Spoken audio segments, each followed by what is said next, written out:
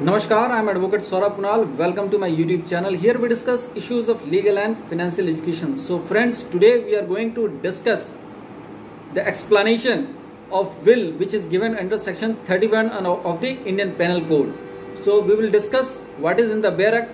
But before that, I uh, want to request all of you that if you are watching this video for the first time, please subscribe to our channel and also press the bell button to get the notification of all our updates. Friends, I also request you to please visit our channel page and see the playlist there. There are various playlists based on different topics like legal drafting, legal awareness, CRPC, IPC.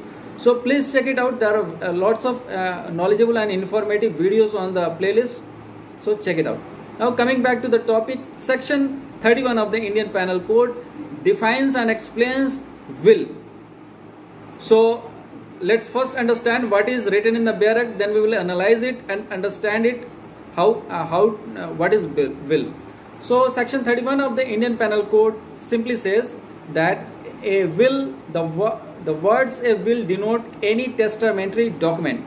So very simple it says that any testamentary document however a will means the wishes of a person how his property will be disposed among his friends or relatives after his death.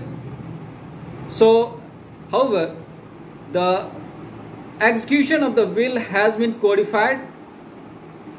The procedure of the will has been codified under the Indian Succession Act. However, a general explanation is given under Section 31 of the Indian Penal Code. A will must be uh, uh, uh, discloses must discloses how the property, the assets, the movable and immovable assets of the person should be disposed after his death.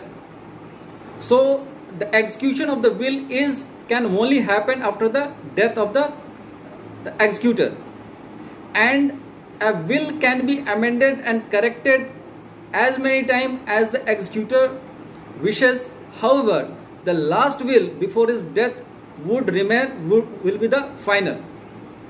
And I, I must tell you that I have made a specific video on how to draft a will and the description of that video is given under the uh, description box.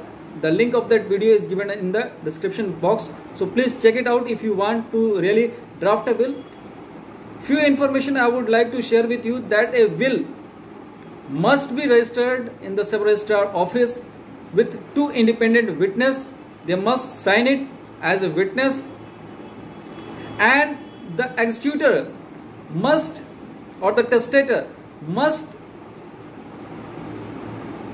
elaborate and explain all the movable and immovable assets in the will which he wishes to be disposed among his friends and family after his death. And he must register the will in the sub registrar office so this is about will which, ha which has been explained under section 31 of the Indian Penal Code. So uh, you can write your views and opinion on the on this video in the comment box and please like it and share it with your friends and colleagues. And also uh, subscribe. I once again ask you to please subscribe my ch channel if you have not subscribed it yet. So now uh, i will i will be coming again with another video. Till then take care. Namaskar